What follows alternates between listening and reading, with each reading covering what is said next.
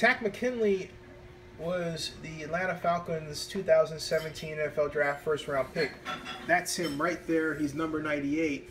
And if you watched the NFL Draft, you saw my video. He bought a photograph, brought a photograph of his grandmother, his late grandmother. He made a promise to her as she was passing that he would be successful in pro football.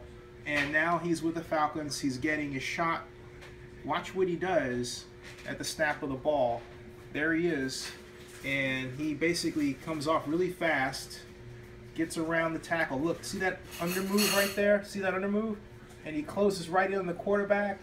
And he just reaches out because Drew Stanton tries to step up and, and avoid him. But in making Drew Stanton step up, Drew Stanton got sacked anyway. So that's Takk McKinley, basically the Atlanta Falcons version of Khalil Mack. Yeah, I did say that. He is the Atlanta Falcons version of the Oakland Raiders' Khalil Mack, and he's making good on his promise to his late grandma.